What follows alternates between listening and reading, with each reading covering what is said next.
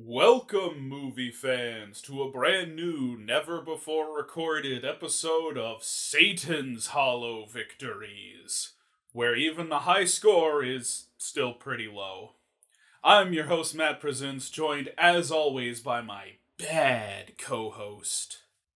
Hello, I am the game dude. Back in the public eye.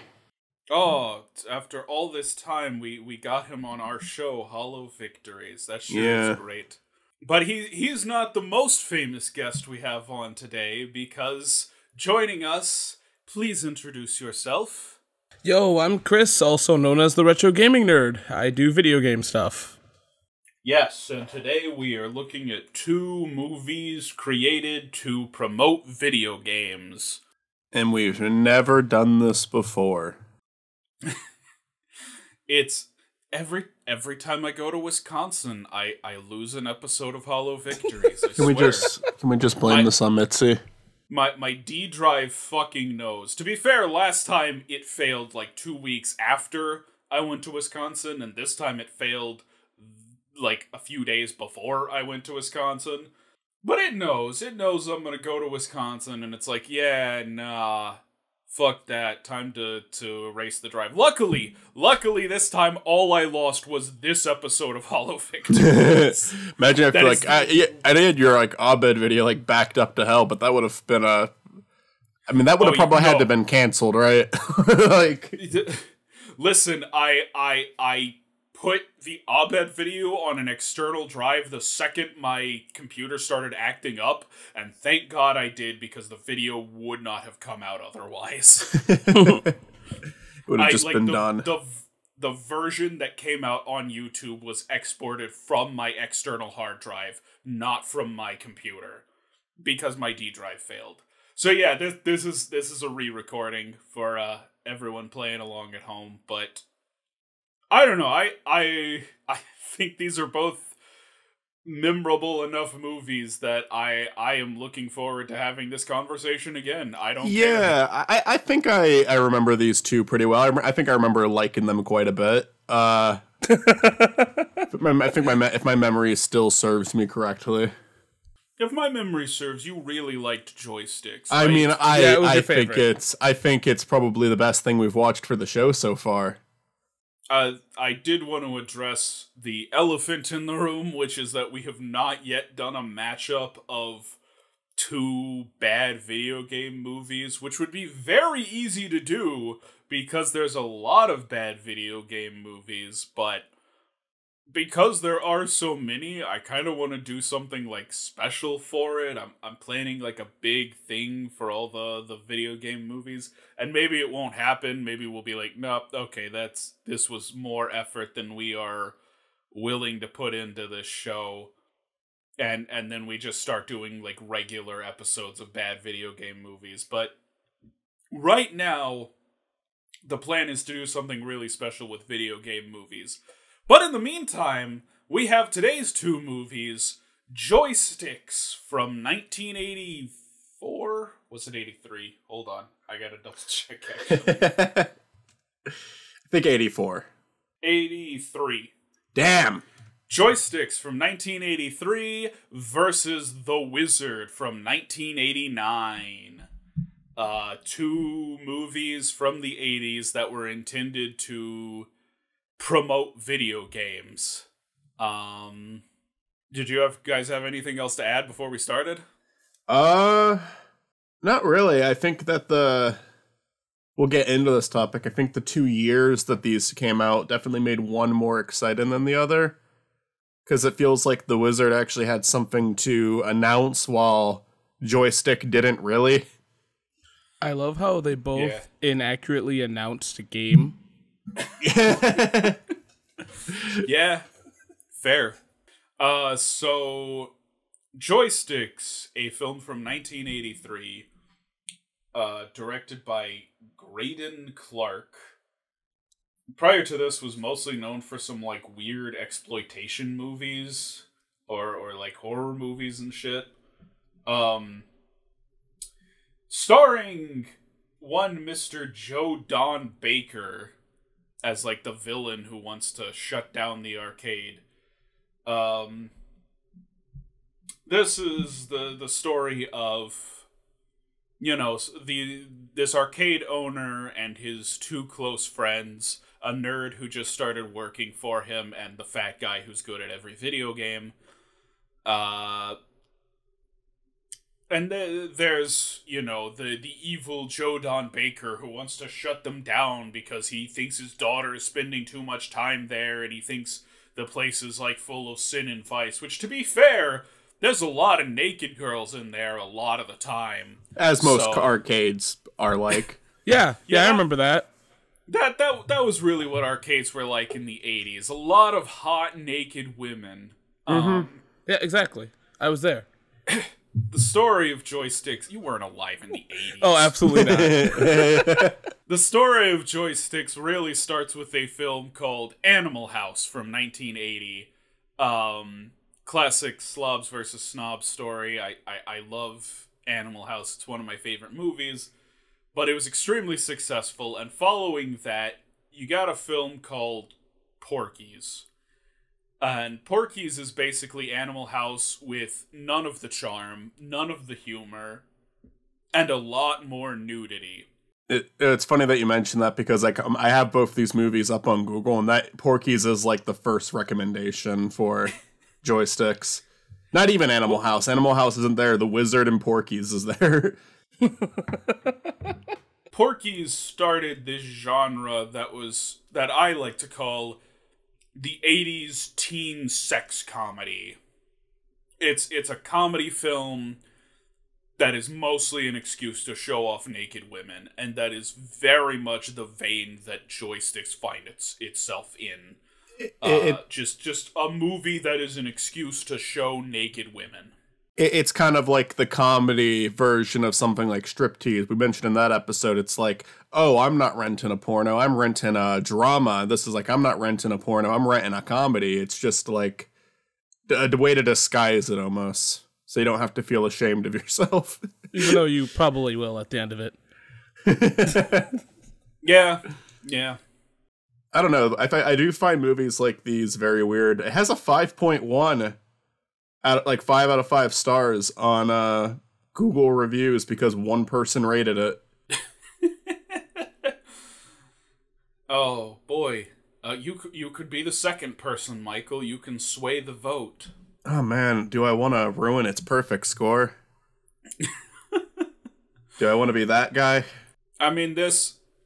I I mentioned Animal House. This film very much tries to have its own Bluto, uh, John Belushi's character, in Yeah. in the form of McDorfus, the fat slovenly character who uh, is is extremely good at video games. Uh, but he's he is a far cry from John Belushi. He is not Yeah. funny. He is not charming. And I blame a lot of that on the script. Like, I mean, a big part of his like shtick is he just farts a lot. Um, yeah, this film has so many rough characters. To be honest, we'll get to. I guess we'll talk about casting at a point. Um, before I say my piece, uh, do you want to let Chris give her opinion on this movie? yeah. Chris, you're our guest. What did you think of joysticks? Ah, shit. See, um, uh, this movie kind of like I remember it, but I also am a little fuzzy on it. I'm more focused on the fact that my dumbass was like, "Oh, you can make the joke that joysticks is penis." So that's kind of where I've No, been. I, uh, that that does seem to be the implication of the title. yeah, Well, I mean, like they they have this whole opening theme that is just like, oh, I love to play with my joystick. Yeah, like, and I mean, I got that, but I'm sitting there like, oh, that's maybe what the movie's going for. I um, I don't know. I think this this movie's interesting because it's like everything that nerd culture wasn't at the time. I mean, I guess it, there's like some things that was correct. I guess like the McDorfus character kind of seems to be what the stereotype would have been, and same thing with the nerd. But the guy that's running the arcade, no. Well, but he he doesn't play video games. That's a big plot point. He doesn't play video games because one time he was having sex with his girlfriend and his grand her grandpa caught him. I thought you were gonna say his girlfriend and her grandpa. And I'm like, um, did I miss something in the movie? his his her grandpa caught them having sex, and that means he can't play video games anymore. It doesn't make sense. It does It- not make sense. It's also just kind of thrown in. Like it's at the very end of the movie they go into that backstory. Uh you know what's also great is the fact that uh, they tried to train him to play video games, and somehow, some way, he still can't. yeah, you said that there, he was like constantly like it was trying to make it look like he was getting further in the game, but you actually recognized the game and he wasn't. Yeah, no, he he, and the worst thing about it is they were switching back and forth between levels on his side. Yeah, yeah. No, there's like a close-up shot where, or there's there's like a wide shot where he's going after bells, I think. Yes. And then in the close-up, he's going after pretzels, and you're like, wait, this is a different level. I, I can tell it's a different level in the close-up. I also love um last time I remember looking at it at Wikipedia they're like he they brought up a fun fact is that pressing buttons does have a boost in that game but the way he was doing it wouldn't have actually helped. Yeah, Which- they were they were mashing all these buttons, and it's like it's it's it's Pac-Man. There's no buttons in Pac-Man. Yeah. Um I also love the rival of the movie or the uh, the the the vi- the Vidiots is that what they were? The, yeah. the Oh my god, I forgot about the and vidiots. King Vidiot. yeah.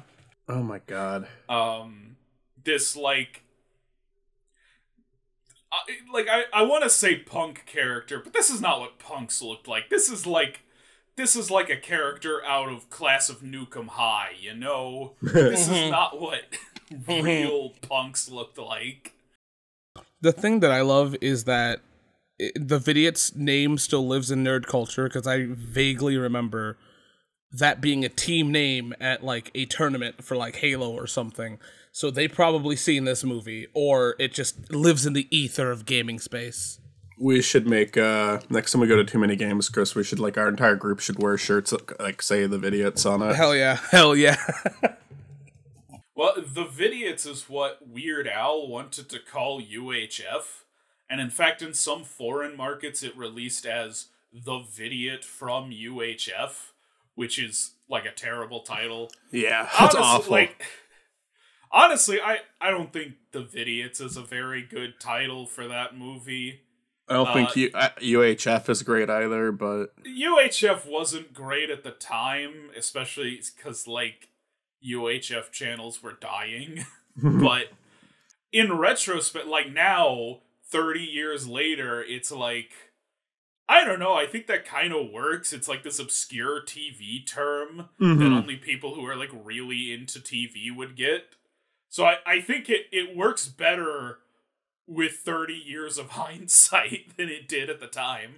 I, uh, that's fair. I just don't think it's a title that like I think it's gonna like the only people it would attract are people who are big fans of Weird Al and never heard like oh shit this is a Weird Al movie, and then also just like anyone who understands what that means, which is not going to be a majority of people.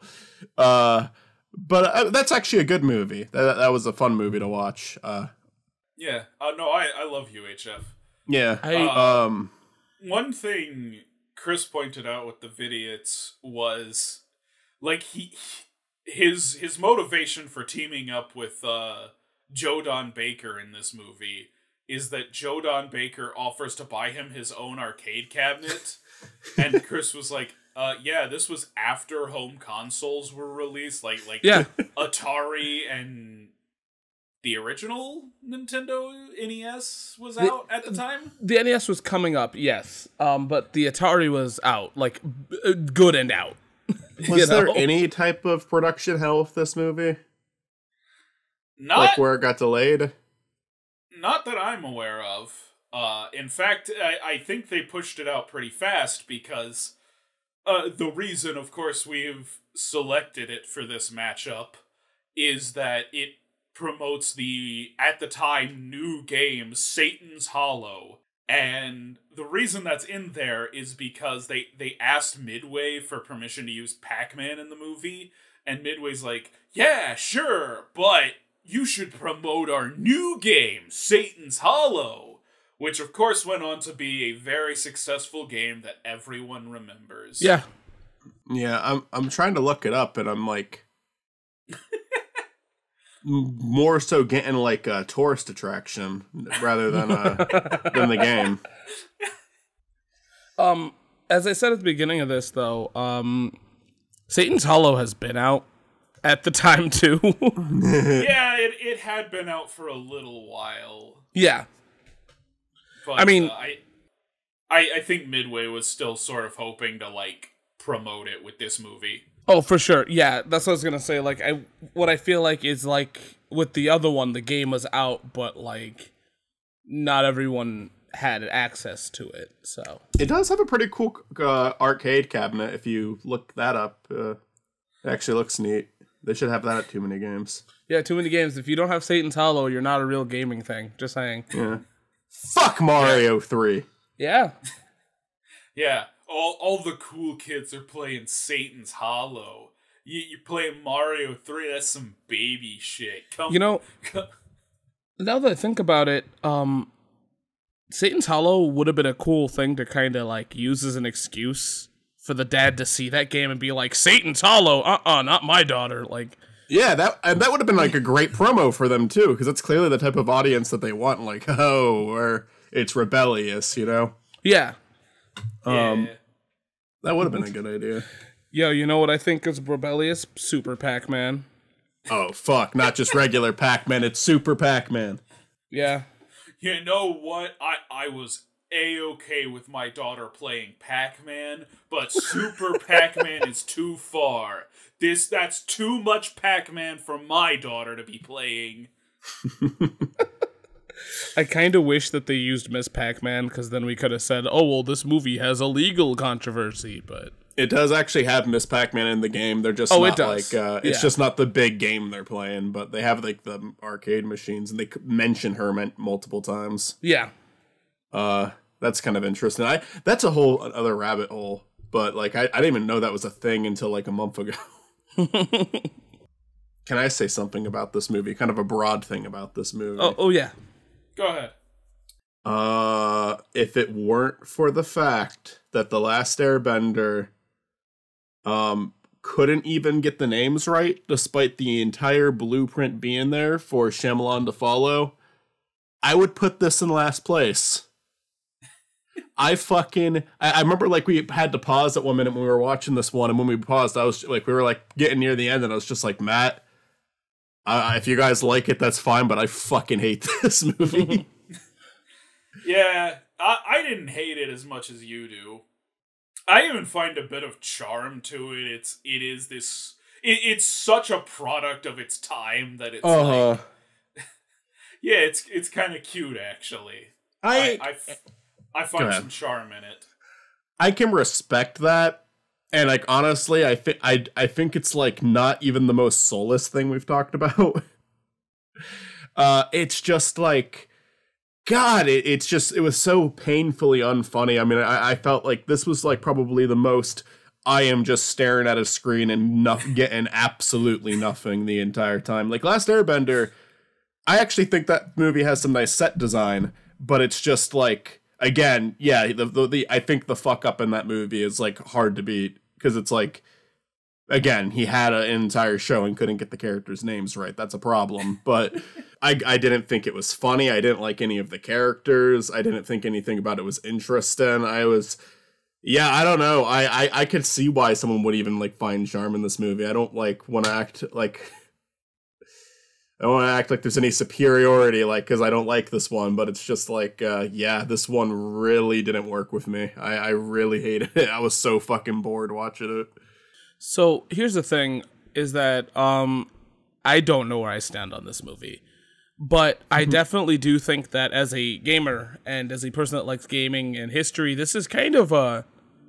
If we if we can talk about the wizard, I feel like this is also a talking point. It's something that I feel like if you are into the arcade scene or arcade culture, it's a movie that's valid to see.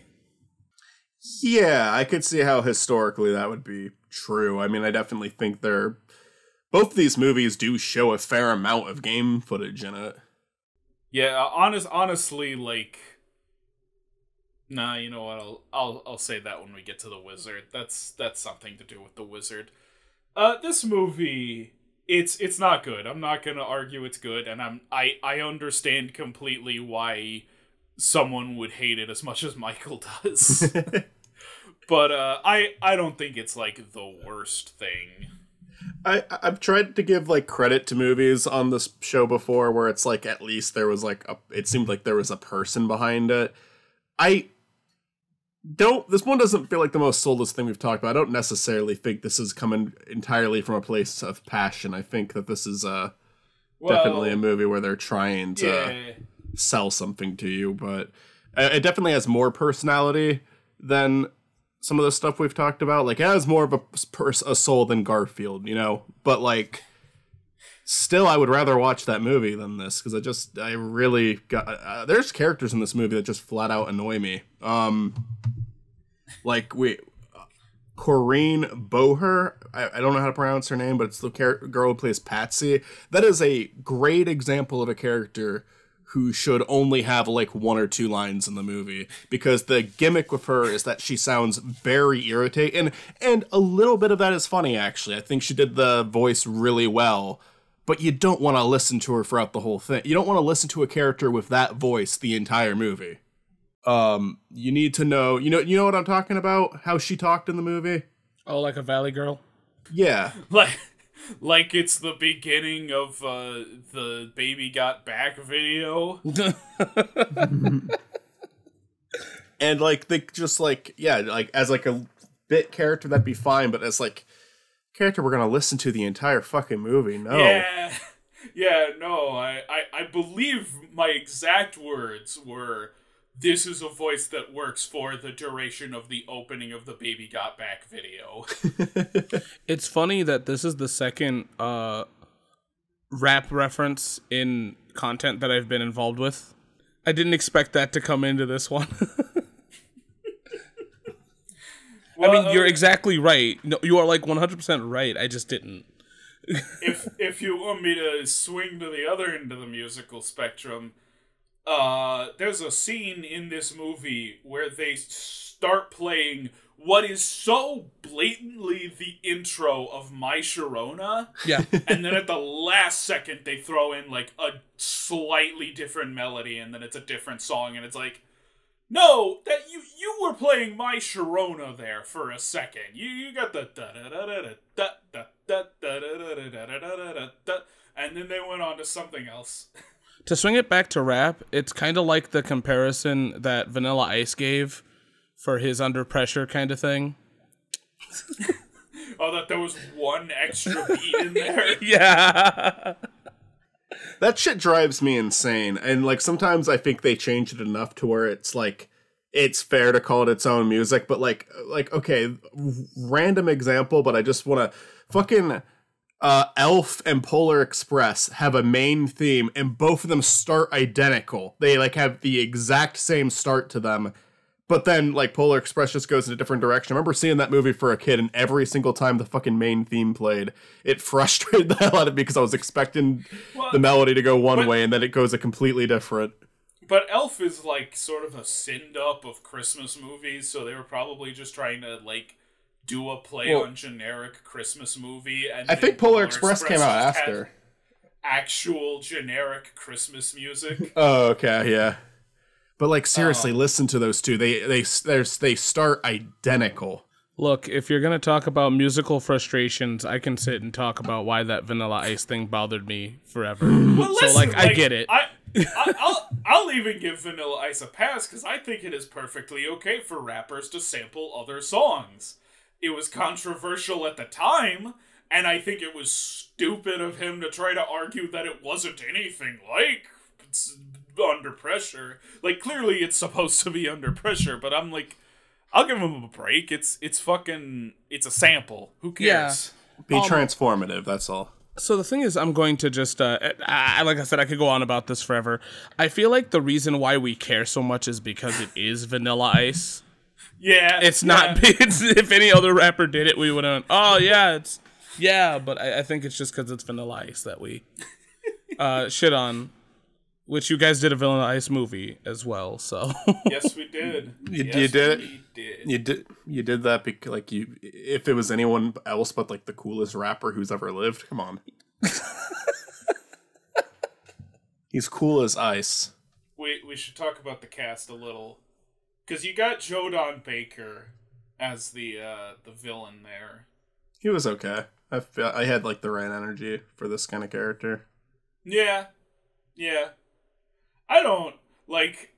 Listen, I Joe Don Baker kind of gets shit on because like they they did uh Mitchell on MST3K and he was like a complete asshole about it. He was like so angry at the Mystery Science Theater 3000 people for riffing Mitchell. So after that they just made it like a thing to make fun of Joe Don Baker and like yeah, okay, he's he's kind of a shitty person, but he's a decent actor. He's in good stuff. Yeah, Like, you, feel you you put him in the right role, he's fine. pe- people get into like a habit of where if like some uh, if they dislike someone they have to like stretch it even like there's plenty of things you can complain about but they have to make up stuff too just to make their case better like i've seen people do that with fucking chris chan it's like no there's already enough shit about chris chan that can be said you don't have to make up stuff uh same thing with derek savage people like add stuff to the list that isn't actually like accurate and it's like no there's already plenty of bad things to say about derek savage you don't have to add on to the list Yeah. um, I thought that Leif Green, Pokemon Leaf Green, who played uh, Eugene Groebe, uh, I feel like he did a good job. I feel like I I don't really like the like again. I don't like the writing of this movie, but he did play an awkward nerd, like an over the top awkward nerd, really well. real Yeah, I talk, mean- I thought he was going to be the main character. Same. Yeah, they start off on him, but then like as soon as he he meets like the guy who runs the arcade, he kind of becomes the main character. Yeah. Yeah, uh, you got Leif Green, who was in two other movies besides this. Um, and you've also got Jim Greenleaf. uh, Oh, yeah. Who was, who was not in a lot besides this. He was in Evil Speak. I, I like some Evil Speak. But uh, he, he was he was not a particular. Most of the actors in this did not go on to much else. The one I think we need to bring up is Jon Gries, who went on to play who who plays the King Vidiot in this movie, and would go on to play Uncle Rico in Napoleon Dynamite. and he's he's good he's good as Uncle Rico actually. I think that's a pretty good performance. I think in this movie you have performances that are good with a bad script, performances that are just bad on top of the bad script, and I think he is like somewhere in the middle because it he really feels like he's trying in this movie. He feels like he's Yeah, doing I his mean- best, but it's just such an awkward character. It's kind of hard to pull yeah, off. yeah. I, I think it mostly comes down to the character he's playing, and it's like, yeah, th- this character doesn't work. So whatever you're doing is not gonna help. Yeah. Um, I definitely thought he was like less irritable than like Jim Jim Greenleaf, who played like the you know the fat gamer guy, right? Yeah, because I, I felt like the performance and the writing was just really bad for him. um, Scott McGinnis as the arcade owner, he's just kind of a generic main character. Not nothing, um, nothing too unique about him. Honestly, Eugene would have been a more interesting character to follow. yeah. One joke I completely forgot about until right now is uh. So so Joe Don Baker has these nephews, right? And they're they're kissing up to him, presumably because they want some of his money. Um, and so they they take it upon themselves to like investigate the arcade, but they have to go in undercover for some fucking reason. It's not like anyone there knows them, but they, they they gotta go in undercover. And one of them goes in dressed as a woman, so of course it's the classic joke of haha, the, it's it's a man dressed as a woman, but then another guy is attracted to him. Whoa, wacky Oh. shenanigans. Yeah, that was uh pretty like pretty common joke for the time. On I mean, like, yeah, that's like No, I, I mean feel- that was a that's still a common that was still a common joke like in the two thousands. yeah. Yeah. I feel like maybe over the last five years that died down. Uh, there was that was definitely still happening in TV shows. It's it's weird. The trans perspective. It's Yeah. weird. It's it's weird that like it keeps happening in media. Like I mean, I will admit it's funny, but it's just it's like uh it's like I don't know. Does this happen that commonly to people? Yes, it happens every day. Someone's attracted to someone, and then it turns out it's just a guy in disguise. Well, it's funny because going back to rap on this one, because that's apparently my thing now. uh, Matt brought up a great point that that comes up a lot in rap. So I and also in movies. So is this is this a common thing? Do people keep falling for these people? Is this is a thing? There's a shockingly high number of rap songs where it's like, oh, I saw this chick who was super hot, but then she had a penis. Hangover 2 did that joke, and that was 2011, so we at least have it up to that point. Jeez. So I mean, I mean, props to joysticks for being one of the early adopters. Yeah. Although uh, some like it hot hasn't beat by like thirty years. It's just it's just it's a weird thing because there was no need for it, and it came back. No, I, I I did think it was funny that like later in the movie, the video sees him out of drag, and he's like, "You got a sister." that that was that was a good joke. That they they took a bad joke and then tacked a good joke onto the end of it. And then they, uh, I guess technically, yeah, they referenced it three times. Somebody was like really into this idea.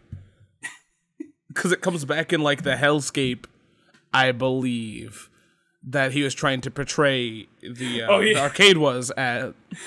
yeah, Joe Don Baker's like talking about how bad the arcade is, and we get this flashback to, or, or this like dream imagination sequence of how bad it is, and he's in line for the women's restroom.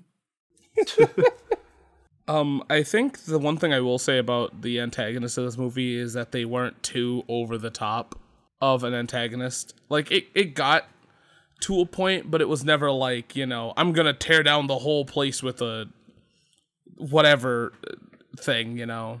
Because I feel like some of these movies take antagonists a little too far, where like it's getting into like murder territories. I mean, it just dep- it just depends. Like if a movie wants to have a really over the top villain, but like the it's like it's one, it's funny, like it's written well, and two, it's like yeah, it like matches the tone of what it's going for. I'm all for it. If it's like something tr- trying to be a bit more serious, and then they throw in a really goofy villain, and then it's like, all right, well, this is a little weird.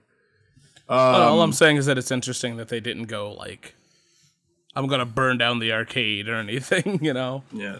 Fucking uh, Ernest rides again, where the villains ju- like like even after like Ernest is no longer an obstacle, he's just like, no, fuck you, I'm still gonna kill you. Oh, I also like how um and I know we're kind of trying to wrap this up, but I do like how uh the mayor or whatever got into video games at the end of it. Oh yeah, that, that was that was funny. Like the ending kind of is what made it worth it for me. There's some especially bad scenes in this movie. Um, I forgot to men- we forgot to mention it this time, but there's that extended uh scene with them breaking into the uh, Joe Don yeah. Baker's house, and uh, you know, there's like one, there's like kind of an extended rape joke. I mean, maybe. Well, How, how how much of a rape jo- is it really a rape joke or she she's asleep and then uh McDorfus is like, "Oh, hey Eugene, here's your chance." And he's like, "I'm not going to do that to a sleeping woman." And then she like grabs him and pulls him into bed with her and it's like, "Yeah, yeah, I, I, I don't know how I feel about this." But then, you know, at the end of the movie, uh, that's that's another thing we forgot to bring up. This is the rare 80s comedy that ends with one of the main characters cucking the villain. It ends with him having sex with Joe Don Baker's wife.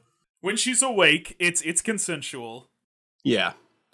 Uh, cause like I mean, honestly, you could argue that the joke there is less like haha rape funny, but also, but rather it's just like, it's like, I don't know, it's just like she's asleep and th- all this crazy stuff is going on without her waking up and and whatnot.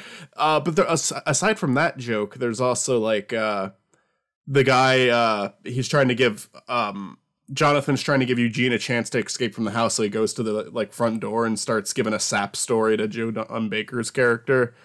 And it just, oh my god, the improv is so fucking bad there. It, it feels like it's ad libbed because it doesn't seem like anything that someone wrote. And he just keeps repeating the same shit over and over. Like that scene is like, I feel like this entire sequence goes on for like seven to eight minutes, and it, the, the whole thing could have been fucking two minutes. Well, they they do keep cutting back to uh, the nephews at the arcade, Mm-hmm. but uh, yeah, they they keep the scene going on way longer than it should. he because he keeps being like, "Oh, I just need some, I need some guidance. I need some words of wisdom." And you have everything so together, but like they'll cut back to him and he's saying the same thing. It's just like, if you're gonna make a scene like this work, you gotta be decent at improv. I don't know why some people just assume they're good at improv. I've seen that with a lot of like. A lot of shit, honestly. Like, there's some like, sh- there's stuff that I Yo, like. Michael, you that. can just say stupid Smash Bros. and uh, it wouldn't hurt my feelings. It's just like there's a difference between doing it on like a podcast or like a unscripted video versus like a film. You know? Oh no, I'm I'm straight up joking. Yeah. I get what you're It's saying. just- I'm just joking. I, I I improv a lot too, and I'm sure most of the time it's unfunny. But uh, but it's just like God. It's just such. I hate those long, really long, drawn out scenes where you're not like getting anything out of it. It's not funny. It's not interesting. It's not moving things forward. And it's just uh, it's awful. There's a lot of moments like that in this I, movie. it honestly to me it feels like you know they they shot you know they they did multiple takes of him giving this same speech and then in editing they're like no we need more of this. No we need more of this. No we need more of this because you've got the other scene going on meanwhile and so it's like okay we've cut back to them. We need more footage of him talking. So they just use a different take of him saying the exact same shit. Yeah, honestly, that's a good theory. That probably is exactly what happened, but I don't know, just that's why you need to be a little bit thoughtful when you write your movie. you need to think about how you can cut back and forth to certain things. And yes, some of that will change once you're in the editing room, like scenes will get cut or be like shortened, but you know, like you do a little bit of work. You don't just do all the work in post. You you save yourself some of the work from post. That's what you need to do. yes Um, yeah, I uh, I'm sorry for going on rambling on about this stuff so much, but yeah, I, I just I hated this one. Yeah, I, I know you did. I don't mind it. I, I think it's cute in some ways. I, I think it has its charm. And I, I think it's like pretty interesting for what it is. It's it's like one of the first movies to be about video games. Like this this is before Tron, this is before The Wizard, this is before The Oh, Last ew. Starfighter. You're right. It is before Tron. yeah, I mean that's fair enough. Um, but uh, yeah, do we want to move on to the wizard? Uh yes. Chris, would you like to introduce the wizard for us? sure. Uh, even though this is the second take, I still have no goddamn clue how to 100% describe this movie because it is a movie. it is a movie that was. Sorry, I don't know where to start exactly. It was a movie that was directed by Todd Holland and written by David. S- I have no clue how to. Kristen Hole, Kristen, whatever. Forgive me. and it is about a child with PTSD trying to make his way down to California, along with that, entering a video game tournament. Which, saying that out loud doesn't sound like these two ideas would go together, but they kind of do. It is almost like two different. Feels like two different movies at different points because his hmm. his PTSD doesn't really have anything to do with like the games and whatnot. But Yeah, no, I. That's the weird thing about the movie is like the kid is going to California because he like he misses his mom and there's like this place he and his mom used to go and then His- like His sister. All the above. Yeah. His, his above. sister. His sister died. I'm sorry. I it, it was it was his sister. Um not his mother. His mother is in this movie actually. Yeah, I- yeah. You you you are correct on that one. Uh his sister died and uh, this was this place they went to used to go together. Um and then Fred Savage is the one who like derails it into this video game tournament plot which feels like that's that's the focus of the movie that's the main part Yeah. of the movie so this like extra stuff with him trying to get to the dinosaurs feels so awkward. You know what sucks? Is that I just got back from LA a couple days ago and I did not check if that dinosaur is still there or not. i i think those dinosaurs are like a pretty popular roadside attraction. I i would assume they're still there. I think that uh in terms of like the sad backstory for the main kid, although you could argue that Fred Savage is the main kid. Uh but like the you know, the kid that is good at playing the games, Jimmy. what Um jimmy is the wizard yeah. I think that he uh I, I- I'll at least give the movie credit for having a beginning, middle, and end with that. At the beginning of the movie, you already know there's something wrong with this kid. In the middle, they actually give the st- like kind of give the sad story for the kid, and then at the end, they have a payoff for that. Um, so it's like you can say it's weird and out of place. You can kind of make fun of uh, how like dramatic it is for a movie that's about video games. Uh, but I will give the it does feel like the movie actually like tries to tell the story. It's not just like un where like in you know joystick, it's just kind of thrown in at the end. Oh no, for sure. Um, it's just I thought it was interesting that that's here. You know, normally it would just be a Yeah. on the road kind of movie. Yeah, there, there's other ways you could give that character. That I mean, honestly, you could. You don't even have to give the character a sad backstory. The character could just have some sort of disability, and this is how him and his brother finally connect with one another. You know, So is it cool have if like I a rev- Rain Man situa- situation Oh yeah. with it. Oh yeah.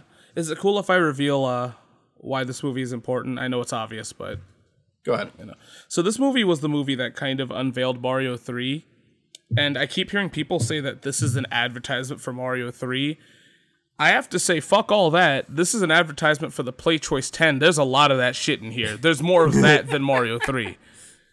Yeah, I think Mario 3 was just kind of like a headline for the movie. Like, it, it probably does better for the movie than Mario 3. Oh, yeah, because, like, there's a lot of, weirdly enough, the arcade versions of these Nintendo games.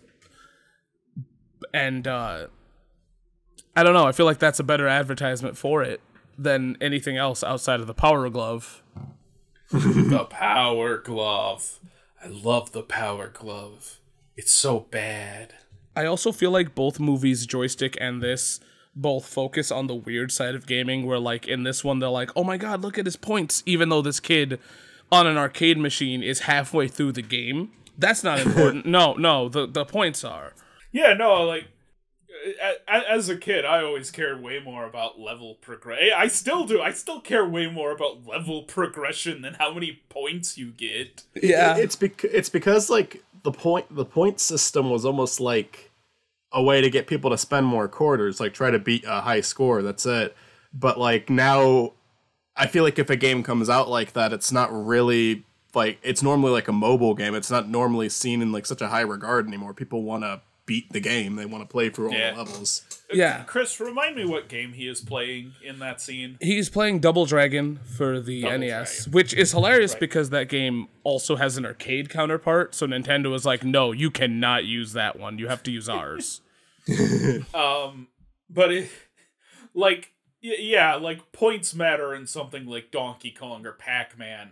Double Dragon, it's way more about level progression. Oh, for sure. And also, uh, if we want to talk about bad gameplay, uh, the dad plays TMNT, which my is God. a infamously bad video game, and he doesn't even fight any of the enemies on screen.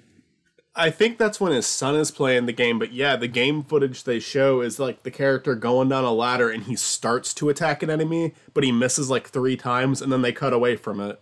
They they cut to the screen a few times, but never is he fighting anything. He is Yeah. always just walking.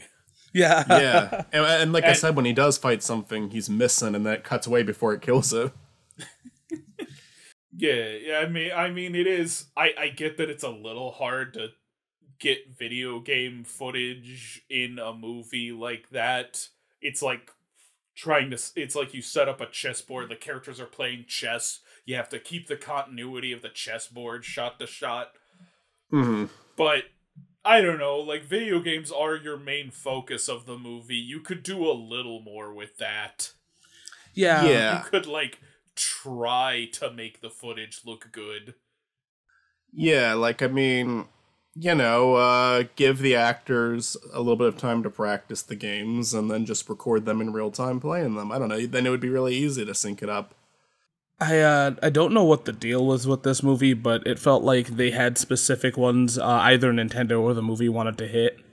hmm So um, They did show a lot of games off in this movie. I'll give it credit for that. Oh, Like, they was, did, like, but they were, lot of like- different games being shown. Oh, they did, but they were like very specific with like, oh god, I want to say Rad Racer is the one that they chose. I I I'm not looking at my collection, so I can't tell you. But the one with the Power Glove, you know, they had that one being specific. Mario Three, and so on and so forth. They they were a little bit better, I would argue, than uh, Joystick was. It's funny with a lot of these movies where they have to promote a game because they'll have characters having a good time with a game that eventually became like famous for being bad. Like Mario Brothers 2 is pretty frequently played in this movie and they're having a good old time. It reminds me of Jesse Pinkman playing Sonic 06 and Breaking Bad. like he's having a great fucking time with that game, but it's like infamously a horrible game. Like it's just it's always funny to me when I see like a movie do like a movie or show have that. Uh, so since you mentioned Mario Two, did you know that it was originally Doki Doki Panic? Uh yeah. Okay. Whoa, wait. I didn't know that. Whoa. But um anyways though, I think that uh this one did a decent job at least with the gaming feel a little bit.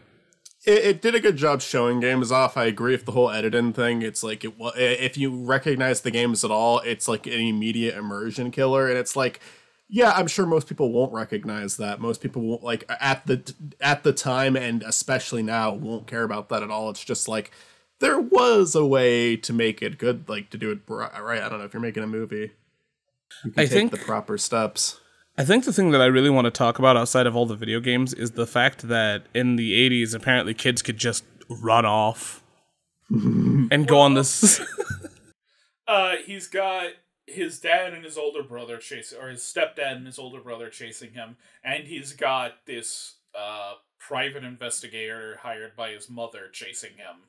Oh no, for sure. It's just I'm all I'm trying to say is that like it's it's interesting that like they never asked their dad about it. I get that that wouldn't have made a movie, but like it's there's a lot of kids doing stuff that you, like you look back at now and go, "Wow, shit, yeah, that wouldn't have flown." Yeah, I I- mean, I, I feel like even at the time, at some point, someone would have like rounded these kids up and gone like, "Hey, where are your parents?" Yeah, yeah. Um, with the with the whole like father thing, I I think that there's a, it's a little bit plausible just because like they clearly show like a damaged relationship between the father and the son at the beginning. Like it's not so irreparable that they can't make up at the end, but like it makes sense that Fred Savage character would be like wanting to run away and would be able to go unnoticed for a little bit before the father picked up on it. And, and Um, it seems like uh, Jimmy, the J- Jimmy is he's autistic, right? That's I or think he's at least he's some some form of like neurodivergency.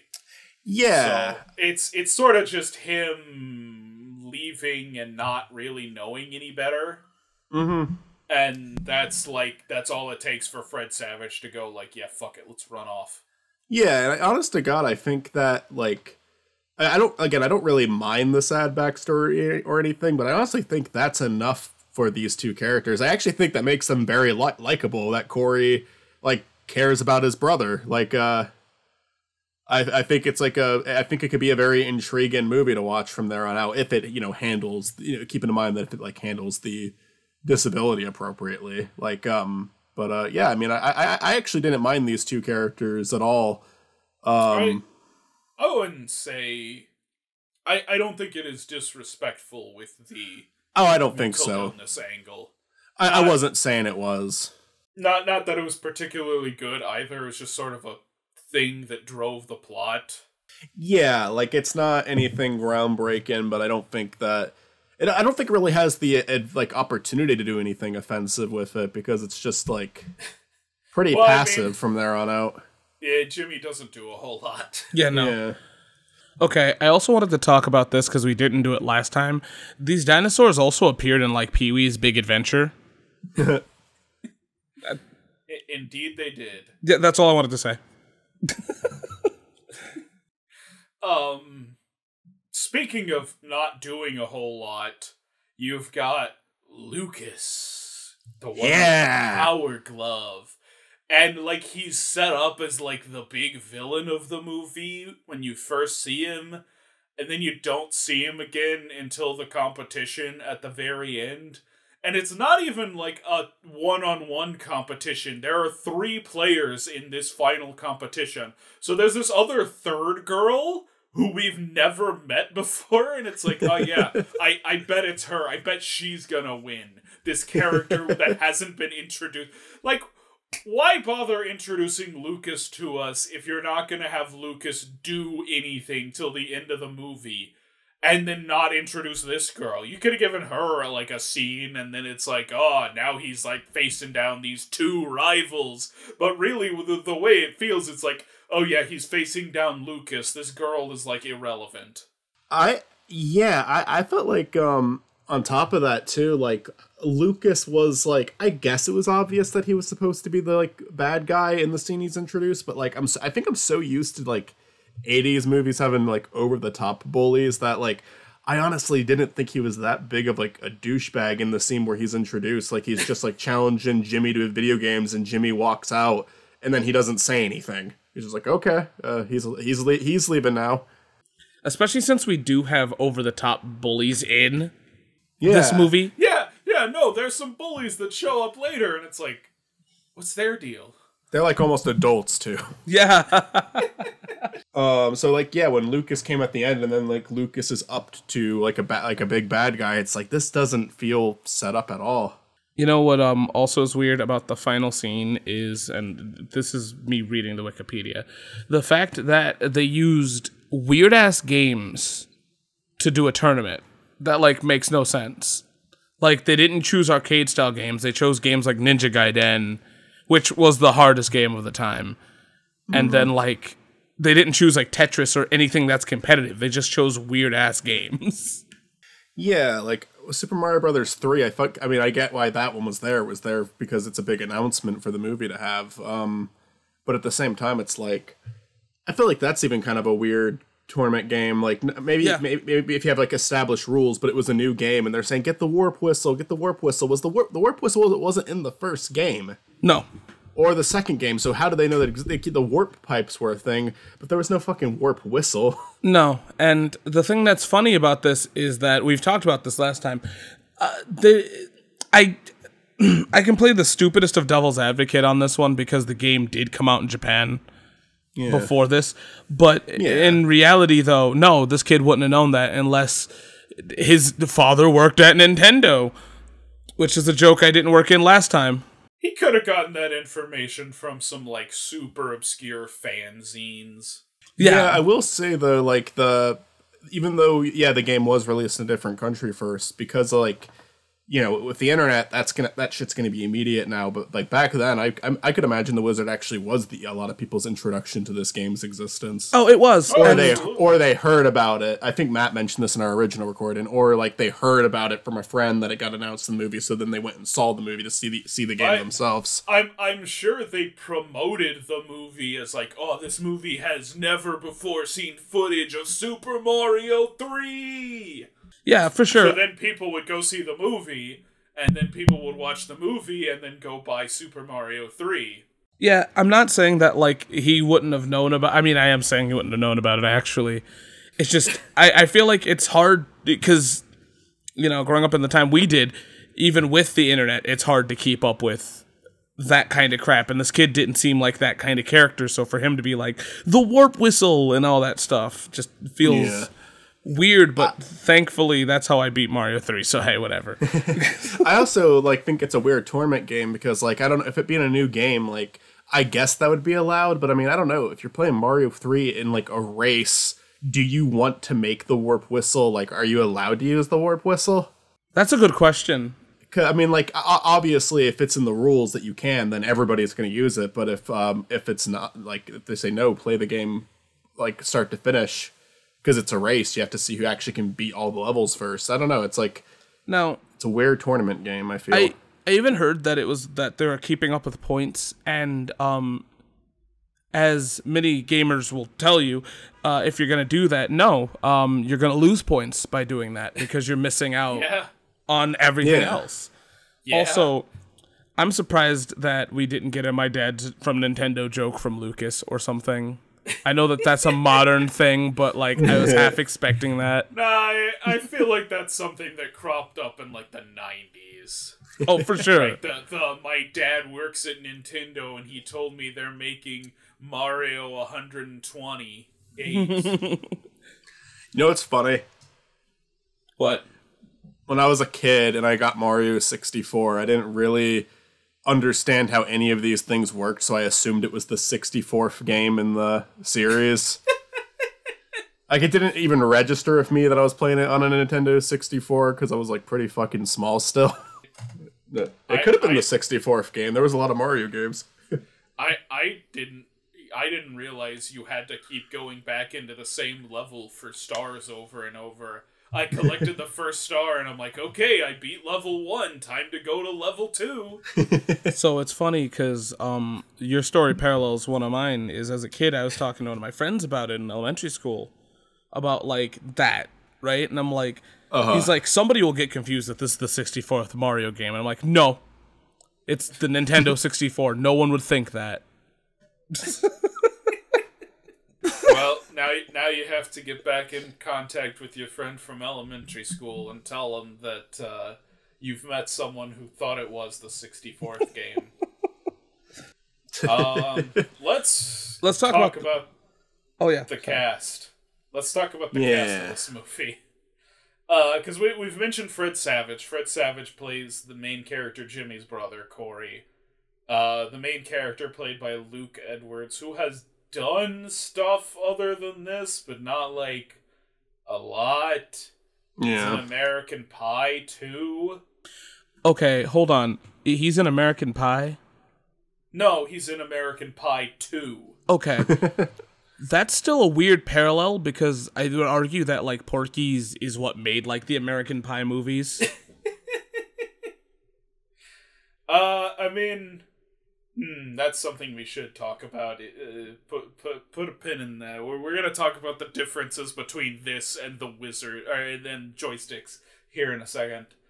Uh, Jenny Lewis plays Haley. She has been in other stuff as well, like more noteworthy stuff like Bolt and Pleasantville, but she's not.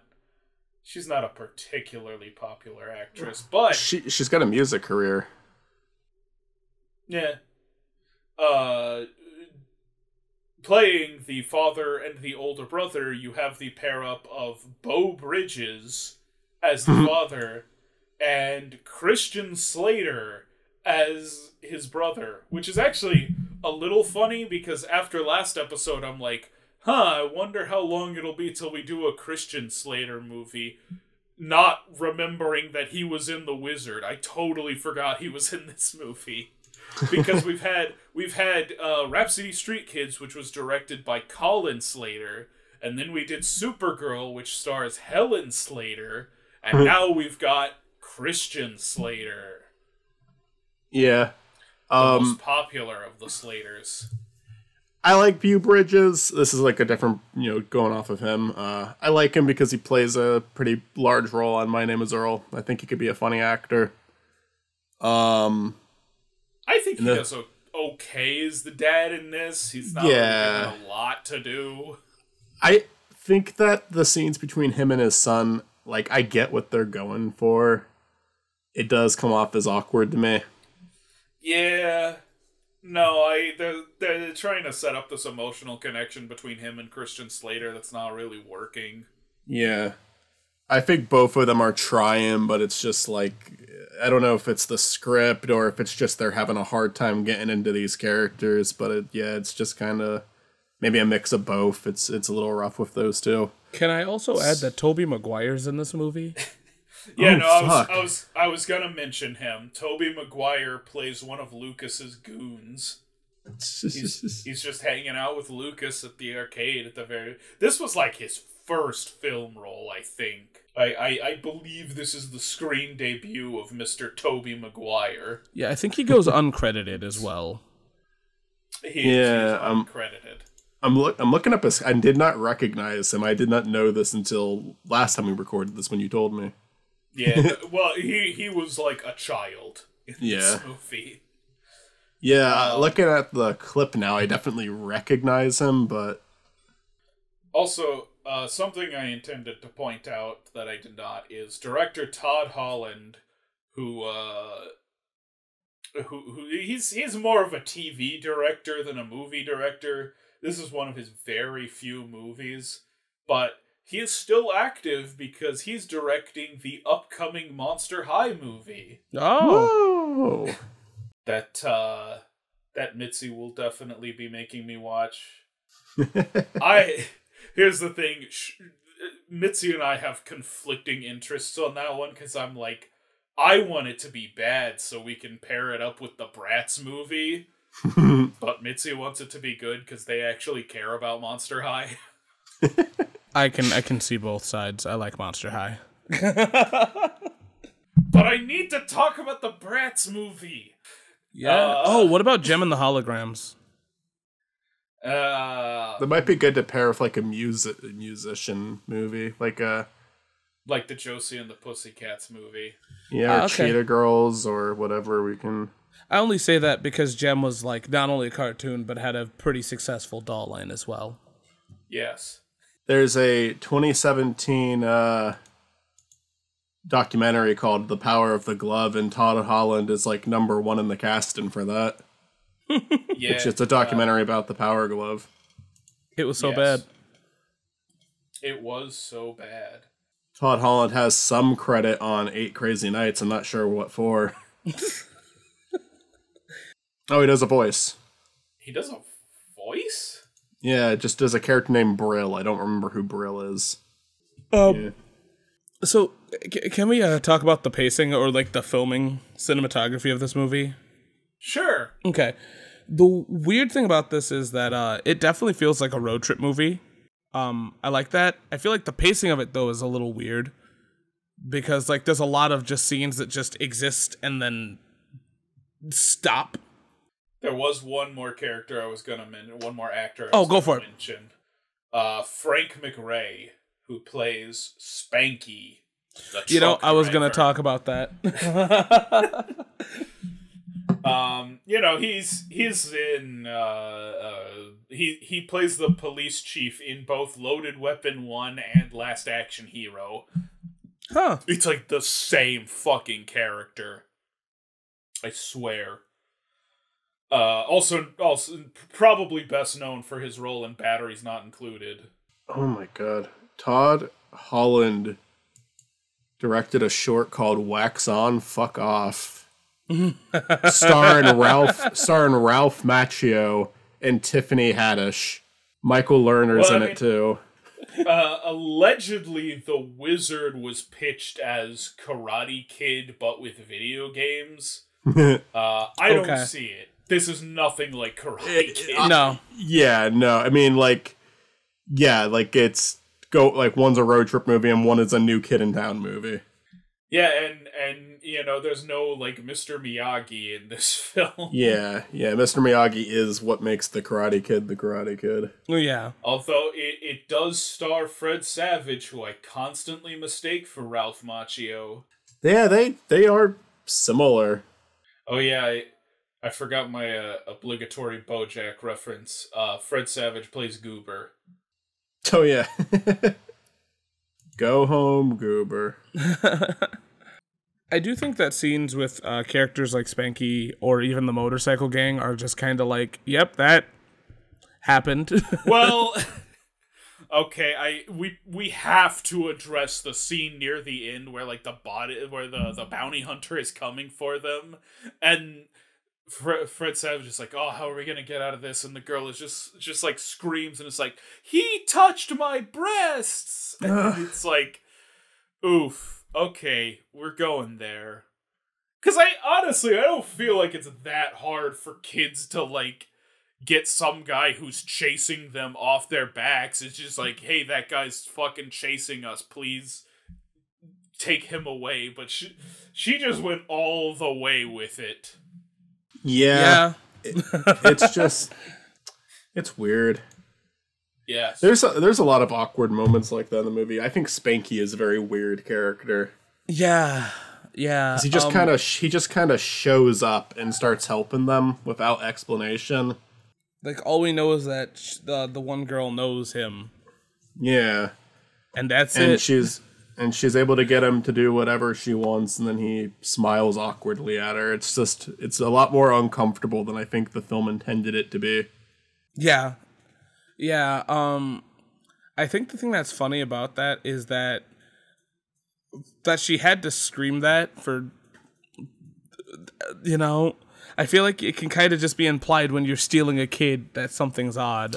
All you have to do is just- scream at the top of your lungs and point. Saying and like, ta-da. yes, scream, "This is not my mom. This is not my dad." yeah. But I guess she wanted Eh. to get him in a lot more trouble. I think that's the point. Yeah, but it was the 80s. Yeah, they got away with didn't care that much. I think uh, we have to address the the differences between these movies because like I Oh. said last time there's a lot there's a lot these two films have in common of course but there's also a, like these are wildly different movies. Like Oh, in yeah. spite of their similarities they are wildly different movies. Like in in joysticks there's a girl wearing a pair of pac-man panties. You were not gonna get a pair of mario 3 panties in this movie. No. like this this is a movie for children. Uh joysticks was very much a movie for adults it's weird because um I feel like there's one kid out there that accidentally saw joysticks because their parents were just like, "Yeah, it's a video game movie. Sure, y'all rent it for you." yeah Let's look, let's look at the poster. well, Let's like, look at the poster. Let's I see if a know. parent would see the poster and get it for their kid. well, I Uh, don't know how like Nah, well it's it's the poster's these- pretty blatant. Okay, It's two two scantily clad ladies leaning over a, a arcade cabinet with uh McDorfus sticking his head out the bottom. Uh, I have no clue if my uh, parents will ever watch this, but I, as much as I uh, love you guys, no, they wouldn't check the box sometimes, especially if it's like Blockbuster where they didn't always have. You know, Oh yeah, yeah. I, I remember the old uh, blockbuster covers. Yeah. So like if you just went, Mom, it has video games in it, uh, my parents would be like, Oh, okay, fine. Although you you'd think like most parents would like check the rating and see that this is R rated. No. Uh, That's just my parents though. just depends. Yeah, it just depends, I guess. But My parents absolutely would have. Oh, yeah, that makes My- sense. my parents weren't the most strict people on the planet, but I wasn't like allowed to watch R-rated shit. See, I wasn't allowed to, but like it, it if I was buying a video game or a movie, they'd check. If it was renting, it was like uh, a cuz normally Blockbuster would stop you, right? So, Yeah. I had like friends with parents who wouldn't let them watch Ed, Edd n Eddy or Foster's Home for Imaginary Friends, and I was like, "What the? F- why?" Foster's Home. It might have been they saw it as satanic because it was Imaginary I- Friends, which is stupid, but that that is my assumption Look, there because I that is like literally the most innocent show ever created. Look, you you know my like stuff my parents wouldn't let me watch videos. yeah, Um and my parents let me watch Foster's Home and Ed, Edd n Eddy, so Yeah, I have Ed and Eddie. I think it's because they said the word "stupid" is what they told me. I heard that, one. Which that which that's fucking stupid. But anyway, But we were comparing the movies next, right? Is that what we're going to do? yeah, I I was gonna say like it, it is like an interest. I, I think the pair up works because of just how many specific things these two have in common. Like it's oddly specific how much these two have in common. But like yeah, like. Uh, uh, like unlike comparing like I don't know like uh, Garfield and Marmaduke two kids movies about talking talking animals it's like that's definitely more an easier thing to compare while like yeah this is an adult comedy versus a charming kids movie Yeah. Um, I definitely think though in terms of like promoting games fuck um that the wizard has a lot more to show off but but it's also has the multiple years ahead of joystick advantage Yeah. where like joystick was uh joystick didn't have nearly as much cool shit to show off but it also was made like four or five years before the wizard so it was definitely at a disadvantage Uh, yeah, yeah, no, I mean, we, we were talking about like. Uh, Joysticks is very much a movie for adults, where The Wizard is very much a movie for kids. And in that respect, uh, I I think The Wizard kind of knows its audience a little better. You know, um, the thing is, we all think that video games were for kids, but a lot of arcades were, or like a lot of machines were put in bars. Like a lot of people. Well, I I Like- get that, but Oh no, I'm just saying like the arcade scene was yes, it had kids, but like a lot of teenagers and older people were more into it. It- There was definitely a shift later on. But yeah, I mean, you can even see that shift with these movies. Like, Yeah. joysticks happened at a time where we were more arcade focused.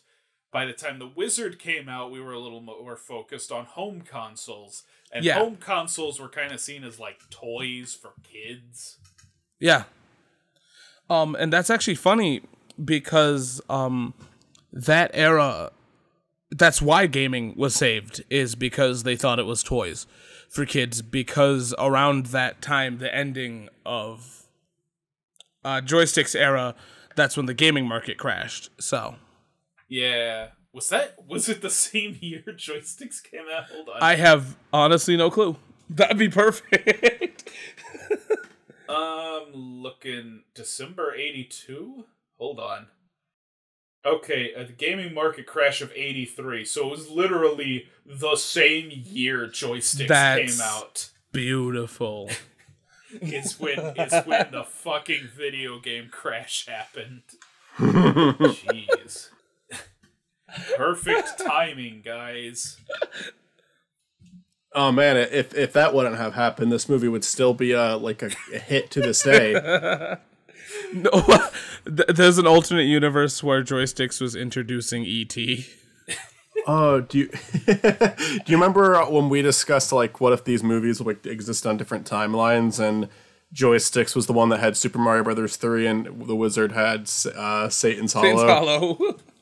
Yeah, no, no. I, I don't think you could use the wizard to promote Satan's Hollow, and you definitely couldn't use joysticks to promote Super Mario 3. Nintendo wouldn't let you use Oh, no, that's why- joysticks to promote.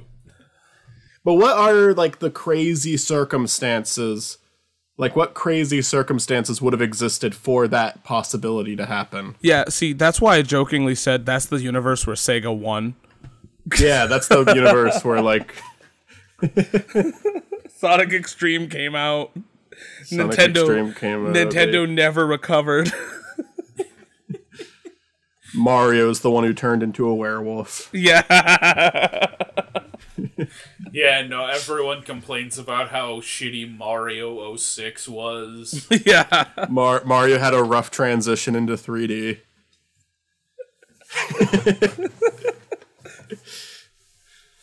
Ev- everyone keeps saying we gotta go back to the Mario adventure games. But even they had that like really long segment of Yoshi trying to fish that no one likes.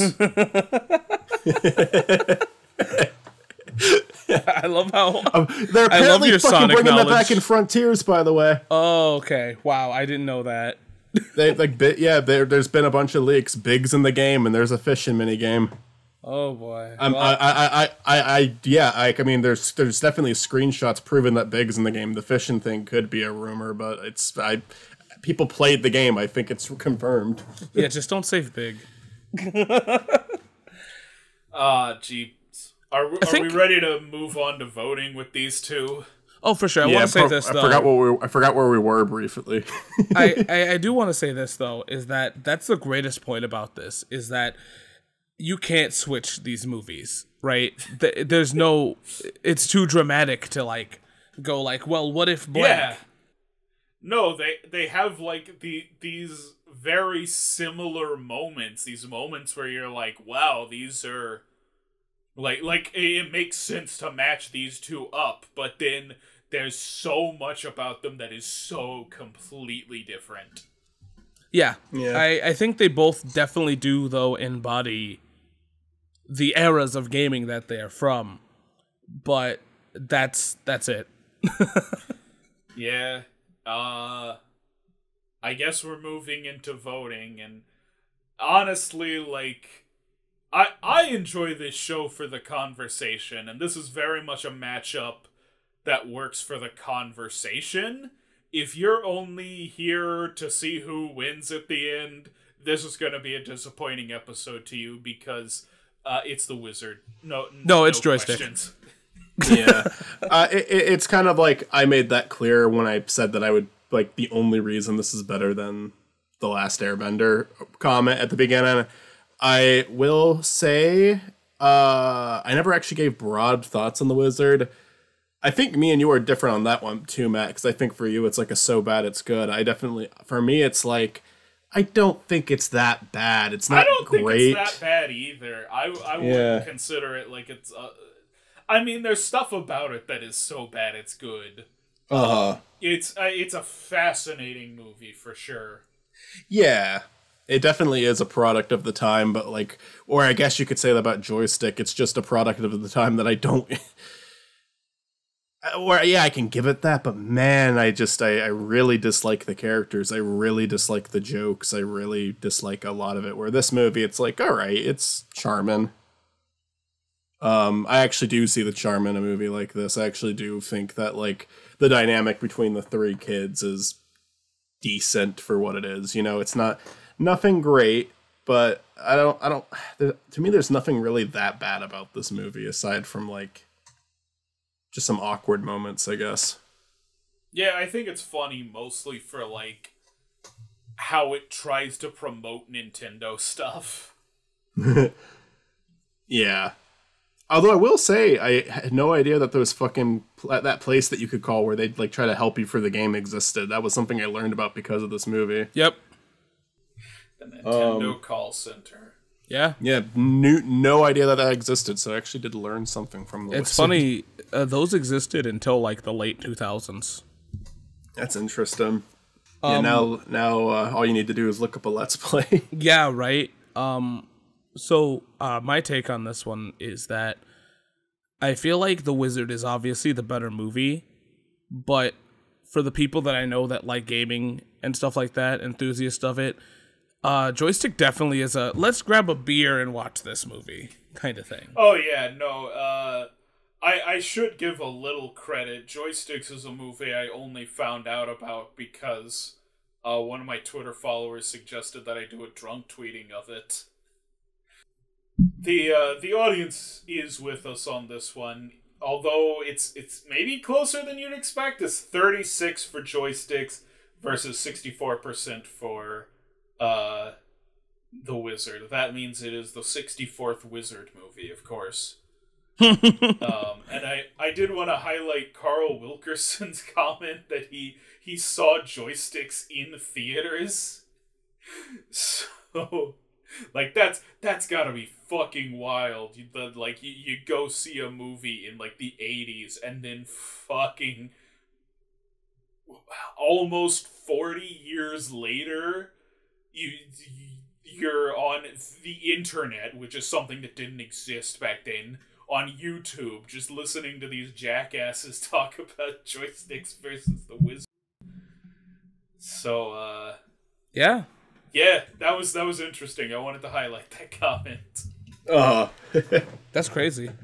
anyways uh the wizard wins obviously Um, so, sorry if you're only here to hear about the winners. This is not the show for you. Yeah, no. Uh, sometimes it's obvious. Sometimes you have no fucking idea though. Sometimes you have no clue.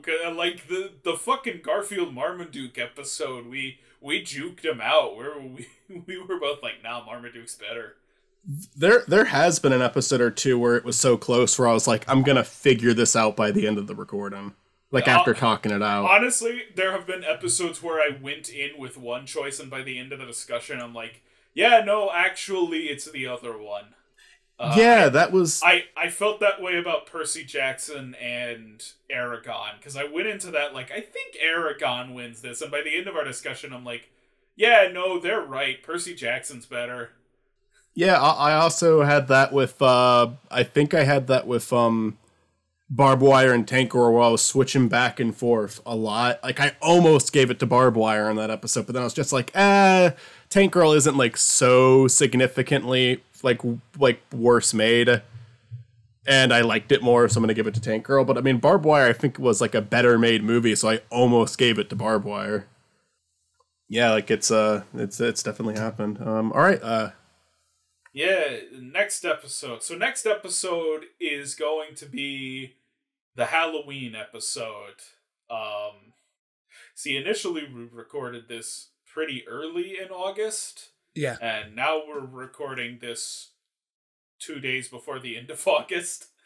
Um, so we are a little closer to Halloween now, but uh, yeah, next episode's gonna come out in October. It's gonna be our Halloween episode, and uh, what what do people love more for Halloween than to revisit the classic Universal monster movies? And luckily for us, Universal has tried not once, but twice to make a franchise out of Universal monsters. So next time on Hollow Victories, it's 2014's Dracula Untold versus 2017's The Mummy. Uh, I promised that one was gonna be coming back, and it did. We were doing it next episode. Happy yeah. Halloween. Happy Halloween. Um, I want to just, I said this in the last quarter, so I want to say this now too. If you haven't ever looked it up, look up the uh, trailer for The Mummy that got released by accident because it is fucking hilarious. That's probably gonna be funnier than anything in the movie. Damn. Probably. Um, Chris, do you have anything you would like to promote? Hell yeah. So, um, if you liked this, um, I'm going to be talking about video game media, mainly TV shows and movies, with nostalgia goggles now in color because uh, I've always wanted to give a gamer's perspective on these shows. So yeah, you can find that on Smash Pack. Nice. Hell yeah. Um, I'm glad we finally had you on because like, like this one was sort of inevitable, but you you watch most of these movies with us anyways, so Yeah. Yeah. it was it was good to finally have you on an episode, and uh, be, because we've had both you and Olivia, that that means that Peyton is the only guest we've had who isn't dating anyone who's been on the show. Yeah. Although, if his wife leaves him, I will be the first in line. Bet your ass. Um, uh, Michael, anything to add? Uh, no, not really. This was a fun pair up, and I I appreciate the t- last two episodes being fun because I feel like we're getting the exact opposite with this next one. But I think it'll be a good conversation. so I don't think it'll be totally miserable, but yeah, this is gonna be one of the the lesser episodes. This is like This is like on par with uh Percy Jackson versus Eragon. I think that oh, I was actually gonna say that I think so far those are the two most miserable that I've gone through, but maybe not. I don't know. I I thought they were because I was- like they were they're, Uh, they're such nothing movies. And I feel like Eragon just really bored me. I feel like we're gonna feel pretty much the same about these two. Like the two Sam, uh, the two Rob Schneider movies were at least short. Uh so thank you, Chris, for joining us. Anytime. And uh for my co-host Michael Shadackle, I'm Matt Presents. See you in the next one. Peace.